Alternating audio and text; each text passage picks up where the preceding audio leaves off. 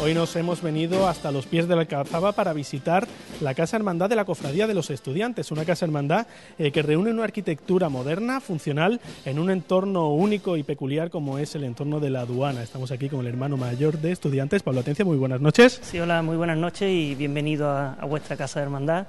Vosotros sabéis que, que aquí en Estudiantes pues nosotros nos gusta que la casa, las puertas estén abiertas pues para, para, los hermanos, para los cofrades, para los malagueños, para los visitantes y bueno y, por supuesto para los medios de comunicación porque hacéis de correa de transmisión pues hacia el resto de los malagueños. Eh, decíamos que estamos en un entorno único, como es el Alcazaba, eh, frente por frente a las puertas de esta Casa Hermandad, eh, y aquí vemos unos tronos pues, muy característicos de la Semana Santa de Málaga, que conjugan con la modernidad y bueno, le habéis dado ese toque también moderno y actual muy necesario, como estamos viendo las proyecciones y bueno, todo lo que conlleva también el museo de la cofradía. Sí, fíjate que es curioso que nosotros anteriormente salíamos de la Plaza de la Constitución, que es un sitio muy emblemático aquí en Málaga, ¿no? Y salíamos de unos tinglados, pero era algo muy característico nuestro, ¿no? Y cuando nos vinimos aquí, eh, el solar que lo compró la cofradía y el sepulcro en el año 96, pues en un principio esto estaba en las afueras del centro y parecía que era un sitio un poco inhóspito, ¿no?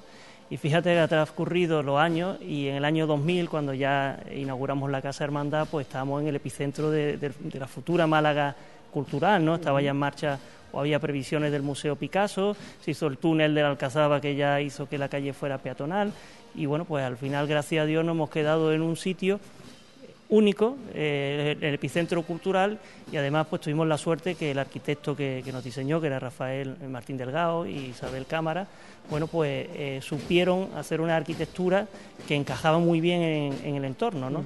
Y bueno, y la verdad que, está a la vista, ¿no? Una casa hermandad fundada en junio del año 2000 y a la que poco a poco se han ido sumando distintos aspectos. Hemos hablado del museo, también de una iluminación muy especial. Poco a poco se han ido también avanzando en distintas materias, ¿verdad? Sí, porque una vez que terminas la casa, pues como bueno, como todos los matrimonios, ¿no? Toda, en todas las familias, luego hay que dotarla de, mobiliario, ¿no? y bueno, nuestro primer reto pues eh, Ildefonso Fernández Vaca fue hermano mayor, fue el gran artífice de, la casa, además eh, fue el valiente que, supo sacar adelante un proyecto eh, moderno a la vez que clásico, ¿no? Y, tiene mucho mérito lo que él hizo en su día, porque claro, nosotros en la cofradía somos, tenemos normalmente una visión más barroca de las cosas, teníamos otra idea de lo, cómo debería ser la Casa Hermandad y él fue el que nos convenció que este era el modelo de Casa Hermandad que había que tener, ¿no? Y una vez que ya entra la nueva Junta de Gobierno, que entramos en el año 2000, pues nuestro primer objetivo fue pues dotar de mobiliario y poner en marcha pues este museo, ¿no?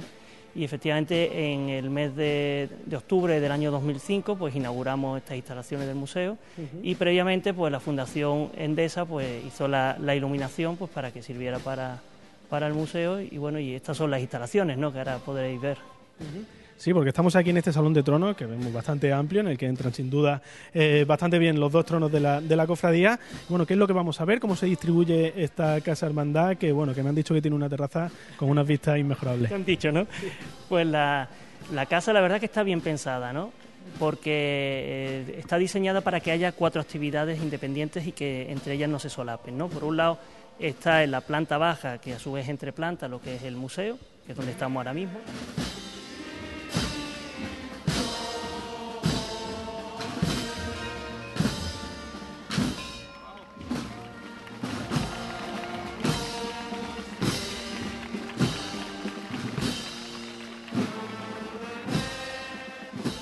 Luego hay una primera planta que es una sala diáfana donde organizamos actividades culturales de todo tipo, tiene una capacidad para 100 personas y que tiene unos medios audiovisuales bastante avanzados. Luego la siguiente planta, la segunda, es la zona administrativa donde desarrollamos nosotros pues eh, bueno, nuestras labores, están los despachos de albacería, de tesorería, de secretaría, del hermano mayor, de la sala de junta, la sala de comisiones.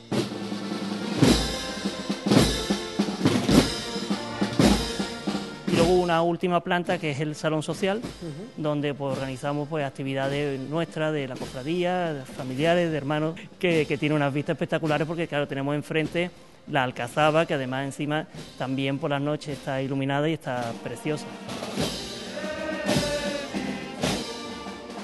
Muchísimas gracias por abrirnos eh, las puertas de la Casa Hermandad.